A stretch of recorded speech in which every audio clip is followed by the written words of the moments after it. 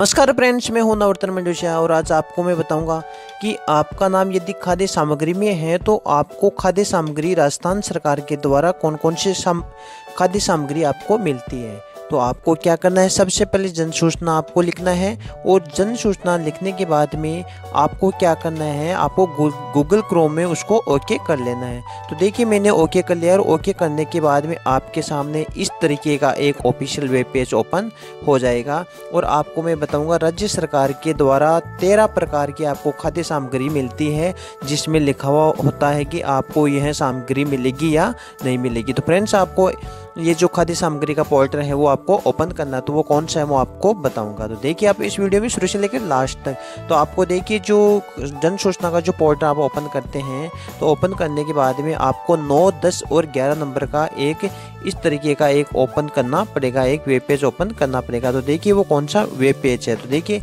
जो 9, 10, 11 नंबर का जो सार्वजनिक वितरण प्रणाली यानी राशन कार्ड में आपका जो नाम है और राशन कार्ड में आपको कौन कौन सी खाद्य सामग्री मिलती है तो वो देखिए वो कौन कौन सी आपको मैं इस वीडियो में बताऊँगा। तो आपको जो खाद्य सामग्री का ये पोर्टल आपको ओपन करना है और इस पर आपको क्लिक करना है।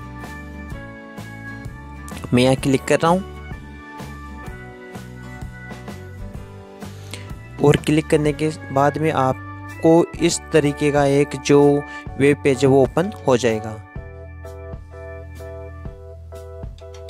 और फ्रेंड्स, आप देख सकते हैं सार्वजनिक वितरण प्रणाली जो राशन कार्ड का है, वो ऑफिशियल वेब पेज ओपन हो गया है। अब आपको क्या करना है, आपको सबसे पहले जो इसमें छह प्रकार के जो ऑप्शन होते हैं, जो पहला है स्वयं के राशन कार्ड के बारे में सूचना प्राप्त करें।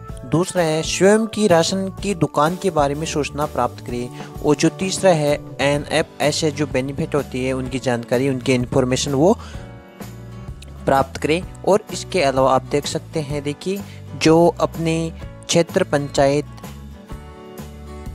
के राशन कार्ड के बारे में सूचना प्राप्त करें, अपने क्षेत्र की राशन की दुकानों के बारे में सूचना प्राप्त करें। और एन एफ़ ऐसे ऐसे लंबित और अस्वीकृत लाभार्थियों की जानकारी प्राप्त करें। इस तरीके के आपके सामने ये छह ऑप्शन होते हैं। आपको क्या करना है, जो एक नंबर का जो ऑप्शन होता है, ये जो स्वयं के राशन कार्ड के बारे में सूचना प्राप्त करने इसमें आपको अपना जो राशन कार्ड नंबर है, वो आपको यहाँ पर एकदम आपके सामने रखना है। तो देखिए, मैं यहाँ पर क्लिक करूँगा। मैंने क्लिक कर दिया और ये साइट है, ओपन हो रही है। अब आपको क्या करना है, देखिए, जो मापदंड है और कार्ड संख्या है, वो आपको अपने पास में रखनी है ताकि आप इसमें डालकर आपका जो राशन कार्ड के बारे में आपकी जानकारी आप प्राप्त कर सकते हैं कि आपके राशन कार्ड में कौन कौन सी स्कीम कौन कौन सी खाद्य सामग्री राज्य सरकार के द्वारा मिलती है। तो देखिए, जो एक नंबर का है, यहाँ पर आपको लिख, जो मापदंड है, कार्ड के नंबर लिखना है और यहाँ पर कार्ड की संख्या लिखना है। तो देखिए, मैं यहाँ पर लिखूँगा। अब आप है आपका जो राशन कार्ड नंबर लिखना चाहोगे या जन आधार नंबर लिखना चाहोगे तो मैं जैसे यहाँ पर राशन कार्ड नंबर डालूँगा। और जो दूसरा है कार्ड संख्या तो देखिए।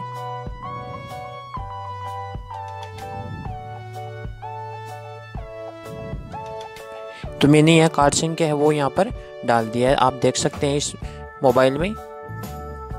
इस वीडियो में आप देख सकते हैं कार्ड, जो नंबर है और जो कार्ड संख्या वो मैंने डाल दिया और यहाँ पर खोजे पर आपको क्लिक करना है। और मैंने खोजे पर क्लिक कर दिया। क्लिक करने के बाद में आपके सामने पूरी डिटेल्स है, वो ओपन हो जाएगी। आप देख सकते हैं पूरी डिटेल इसमें ओपन हो चुकी है।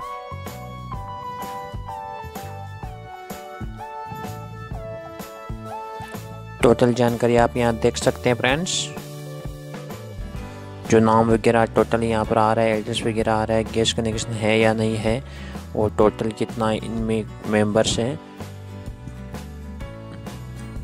और देखिए, पूरी डिटेल्स इसमें आपके सामने आ जाएगी, मैंने कब कौन सा खाद्य सामग्री लिया जैसे गेहूँ लिया है, मैंने दाल ली है, देखिए ये दाल है दाल भी लिया है, गेहूँ गेहूँ गेहूँ, ये तो हो गई।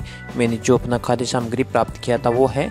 और इसके अलावा आप नीचे देख सकते हैं, आप नीचे इसको स्कोर कीजिए, ताकि आपका टोटल जो है वो, जैसे पहले मैंने जो आप देख सकते हैं थर्टी टू नंबर पर गेहूँ है, और जो थर्टी वन पर जो केरोसिन भी मैंने लिया था है। आप देख सकते हैं नीचे, अब मैं नीचे इसको स्कोर करूँगा और आप देख सकते हैं इसमें जो उचित मूल्य की दुकान के नंबर कितने हैं और ये दुकान किसके नाम से हैं और कहाँ पर है, इनका एड्रेस है और इनके मोबाइल नंबर भी यहाँ पर फिल कर रखा है। अब देख सकते हैं इसमें आपको तेरह प्रकार की जो खाद्य सामग्री है, वो यहाँ पर मिलती है। वर्तमान में कौन कौन सा स्टॉक है? तो देखिए, ये प्रेजेंट टाइम में यदि आप, जैसे मैंने आज की डेट तक मेरी जो खाद्य सामग्री मुझे प्राप्त हुई है तो कौन कौन सी है? तो आप देख सकते हैं, राशन कार्ड धारक की उचित मूल्य दुकान पर वर्तमान में उपलब्ध स्टॉक देखिए, चीनी। ज़ीरो ग्राम है, मेरी कोई चीनी आई नहीं है। इसके अलावा जो कैरोसिन है, वो ज़ीरो है। गेहूँ है, चार सौ सत्रह किलोग्राम। और गेहूँ है। पैतालीस। सौ आप देख सकते हैं जो पाँच नंबर का जो गेहूँ है यह है एक सौ उन्नीस और जो चार नंबर का है पैंतालीस सौ बाईस किलोग्राम मुझे गेहूँ मिलेगा। क्योंकि मेरा ये स्टॉक है मैं इतना गेहूँ यहाँ से ले सकता हूँ। इसके अलावा दे, देखिए जो एन एफ़ एस है इनके अलावा आप देख सकते हैं गेहूँ अतिरिक्त है एक सौ चौवालीस किलो और गेहूँ अतिरिक्त है उन्नीस सौ साठ है, चौदह सौ अस्सी है, सत्रह सौ चौवन है और ये ये जो गेहूँ है, अब चना आप देख सकते हैं, चना में ज़ीरो ज़ीरो दे रखा है। अब आप देख सकते हैं इस वीडियो में जो चना है, दस नंबर का जो ऑप्शन आप देखिए जो दस नंबर का ऑप्शन है, इसमें ज़ीरो है और गेहूँ जो M D M non N एप्स है जो स्कीम होती है उसके अकॉर्डिंग मुझे कोई गेहूँ नहीं है।